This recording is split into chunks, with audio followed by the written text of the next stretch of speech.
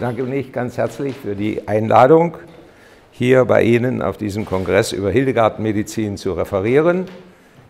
Wie Sie sehen, ist das eine sehr alte Medizin aus dem 12. Jahrhundert und ist auch 800 Jahre vollkommen unbekannt gewesen, bis sie nach dem, ersten, nach dem Zweiten Weltkrieg mein Lehrer und mein Freund Dr. Herzgar neu entdeckt hat, aus dem Lateinischen ins Deutsche übertragen und die Rezepturen der Hildegard an den Menschen unserer Zeit ausprobiert hat.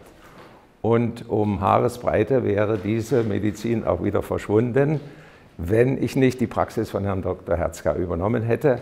Und so habe ich bis zu seinem Tod mit ihm zusammengearbeitet und habe auch einige Bücher über die Hildegard-Medizin veröffentlicht. Meine neuesten Bücher sind ganz klein geworden, nachdem wir früher immer große Schwarten geschrieben haben. Ich gebe die Ihnen mal rum, können Sie sich gerne mal ansehen.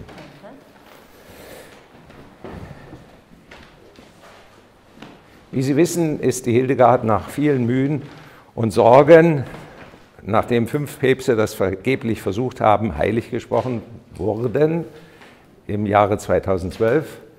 Ähm, der, der, Hemmschuh war die Hildegard-Medizin, die man nicht anerkennen wollte, aus äh, Gründen, ja, Esoterik, Mittelalter, finstere Medizin, sowas macht man heute nicht mehr.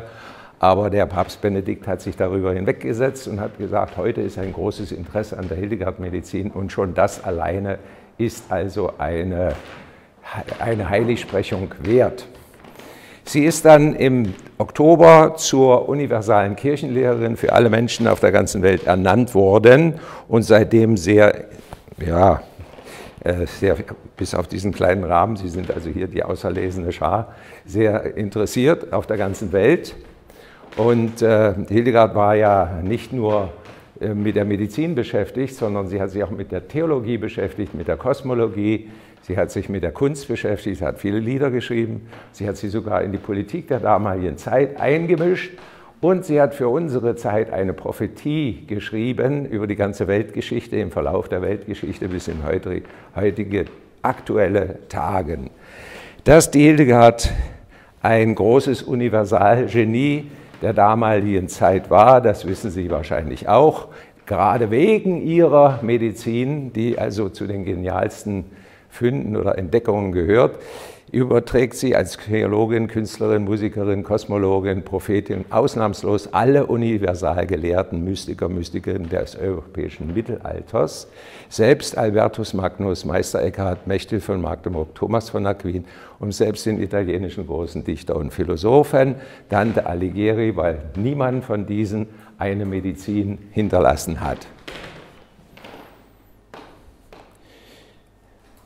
Hildegard hat drei große theologische, philosophische Bücher geschrieben, die sie natürlich nicht selbst verfasst hatte, weil die Frauen in der damaligen Zeit konnten nicht in der Scholastik teilnehmen. Sie konnten also weder Latein noch konnten sie äh, das aufschreiben und sie hat sie einen Trick. Sie hat sich den schlausten, den schönsten Mönch aus ihrem Kloster, den Vollmar, angelacht und hat mit ihm diese Bücher geschrieben. Und äh, wie Sie sehen, hat ein Buch der damaligen Zeit über so ungefähr zehn Jahre gedauert, bis es dann veröffentlicht wurde.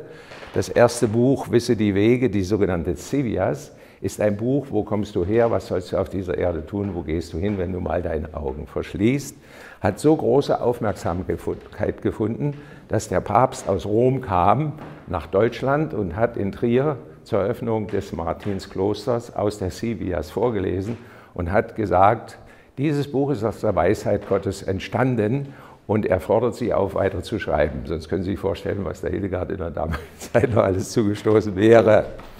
Also das erste Buch ist ein Buch mit 35 Visionen und Meditationsbildern, die ich Ihnen auch hier zeigen werde.